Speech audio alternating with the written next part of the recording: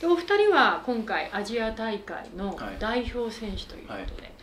代表になったいきさつというかはい。あの、試合っていうのがこの間あったんですか？そうです。うん。あの5月のあのゴールデンウィークの時にうん。東京のお台場の方で、はい。あの試合があって、まあ、その結果をまあ考慮してアジア大会代表を決めるとうん。いうあの話だったんで、まあ、その大会でまあ一応2位となって、まあ、選考基準あくまでも選考基準だったんですけど、まあ、そこでアジア大会代表っていうのを決めていただいてはい。でそこで決まりました。はい。その時のあの試合の優勝者っていうのがあの朝日あ朝日白鳥ペアっていう。ペア白鳥ペアはいです、かね、オリンピック北京オリンピックはそのチームは9位になってるんですけど。あそうなんですか、は北京では9位、はい。うん。その時優勝したのは？その時アメリカです。アメリカ、はい中国というそのホームグラウンドの中で、はい。中国はアメリカに敗れたと。はい。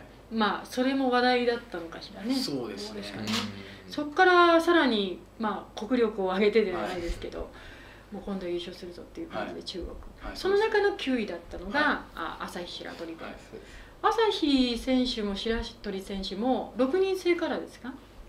インドア朝日選手はもう6人制はもう全日本に入っててはい。活躍されてて、そうですね。まあ、白鳥さんも大学生までは6人制やってたそうで、はい。大学卒業してからビーチバレーの世界に入ってきて。そうですか。はい。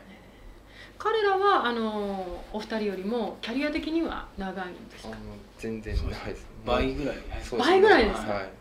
じゃあもう最初のそのアトランタちょっと過ぎてからぐらいそうですね。はい。まあもう若手でペアとしては5年目、はい。あそうですか、6年目ぐらいですえけーでもお二人は1年でしょ？はい。ど、であの彼らはキャリアも長くはてい。5年ですよね、はい。今回そのお選考会にあたる全日本では競り負けたんですよね。競り競り負けたんでしたっけ？そうですね。ギリ。決勝ではい。ギリ、ギリギリ。ギリギリ負けまし1セット取って1セット取られて1セット取られて1セット取ってって感じですか？た3セットマッチなんであす3セットマッチなんですね、はい、で1セット目取られて、はい。2セット目取って3セット目取られまし何点ぐらいの差だったんですか？最後はもう15対た、6とか7だったんですけど。ああそうです。か最後はもでもそれだけあの5年間ハンハンディキャップとすれば4年間あるわけですね。ペアとしても、はい。キャリアとしても。という部分ではもうちょっとかなっていう感じですかねそうですね。361日の一緒のところ364日ぐらい一緒にいれば、そこは埋めれるかもしれないっていう感じですかね。はい。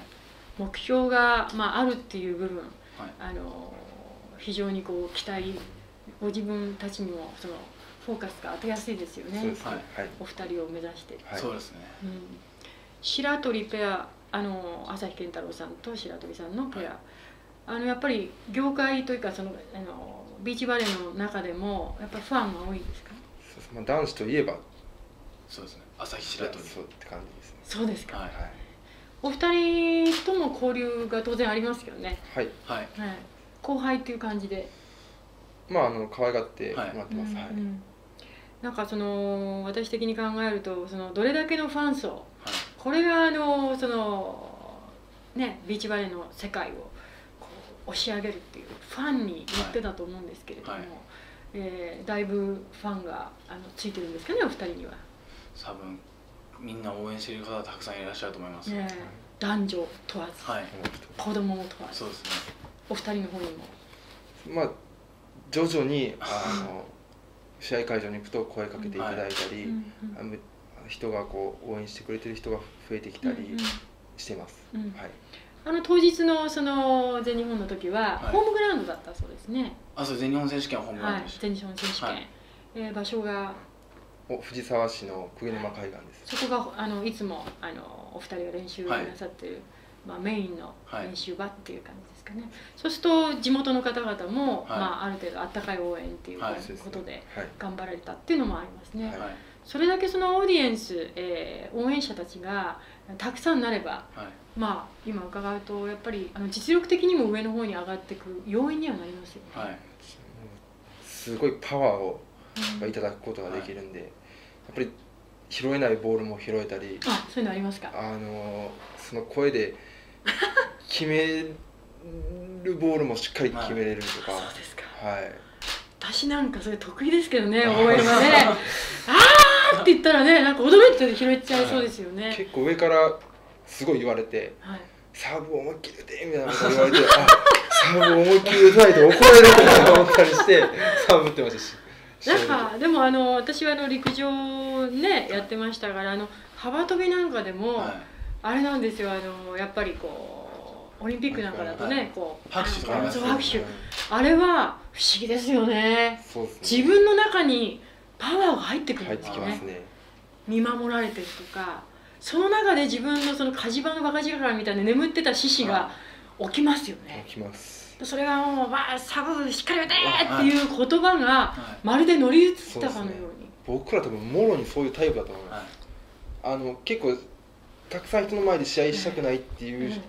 人もいれば、あナーバスになって。はいはい僕らはもうそっちの方が楽しくてしょうがないですね、伸びますね。経そうですね。はい、ワクワクしちゃうんです、ですよね、はい。朝日白鳥お二人の身長体型からして、はい。ね特に井上さん、はい。井上、えー選手なんかは小さい方ですよね。小人みたいな感じです小人なんですみんなにしその決勝始まる前とか、まあ準決勝からも大体みんなもう大きくなってくるんですけども、すごいちっちゃいよ周りから見てもかわいそうなぐらいちっちゃいよ言われて あの試合のそのあのコートの中で見ると当然対比数できますもんね、はいそうすると地元の中ではそのサーブしっかりやれよじゃないけど必然的に応援もそうですね。あのー頑張れっていう応援がちょっと増えてきますね、はいそうですよね、はい。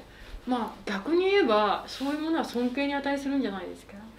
もともとのね持ってる素養以上な頑張りがないとはできないっていう部分がありますもんね、ではい。もそれだけあの拾えるとか動けるっていう点ではメリットもある。そうです。ねまあ、うん、まあバレエ歴も長いんでやっぱり感覚というかは結構自分の中でもそれを大事にしてやってて、うん。まあ、そこでまあ自分のプレーを生かすことがうん。まあできてるんじゃないかなと、まあでもビーチバレーは一人でできないんでやっぱり、はい。長谷川がいての、まあうん。僕なんでうんうん。だと思ってるんで、まあ、周りから見てまあ僕が頑張れって言ってるんですけど僕が活躍できるのはその長谷川がそうですね。そこのあうんの呼吸がるね。ので、まあ、活躍ができてるんで、うんうん。はい。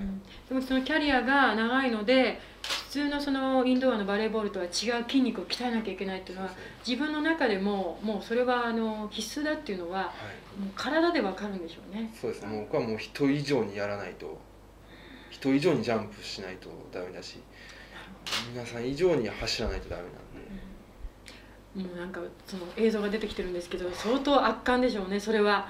あのそのなんだろうこう飛び散る汗ではないですけどね。そうですね。もうスロー超超スーパースローでこう撮ってみて。撮ってもらってみたいですねそれはねすごいと思いますね。形相だったりはいその力っていうのはねその映像でね。はい。やっぱり直接見るよりもそうやってこう細かいディティールをうん。まあ見たいって感じしますね。た。まに写真とかすごい顔してますから、え 二人例えばスパイク打ったりブロック飛んでたり、僕はレシーブが多いんですけど、レシーブしてる時でも顔とかもこういう写真あ載せないでほしいなっていうような顔を しながらええプレーをしてますね。えいやーそれはねかばかじら火事場のバカ力じゃないですけど日常にはない顔っていうのはもう神ですね。